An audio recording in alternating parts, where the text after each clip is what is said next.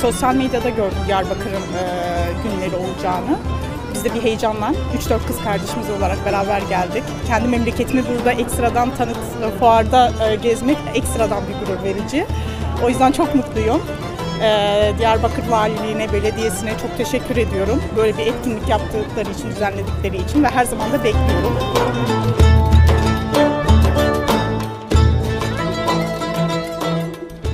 Etkinliğin olması her zaman iyidir. Ee, Bütün insanları buraya toplar. Memleketlerden gitmeyen insanların burada buluşmasını, memleketlerin ürünlerini burada tatması çok güzel bir şey.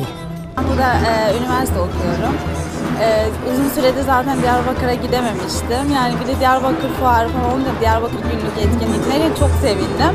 Direkt koşa koşa geldim zaten. Diyarbakır'a önceden gitmiştim. Böyle bir etkinlik olduğunu duyunca direkt geldim. Güzel buldum. Bayağı iyiydi yani. Çok eğlenceli geçti. Etkinlikleri bize sundukları için herkese çok teşekkür ederiz.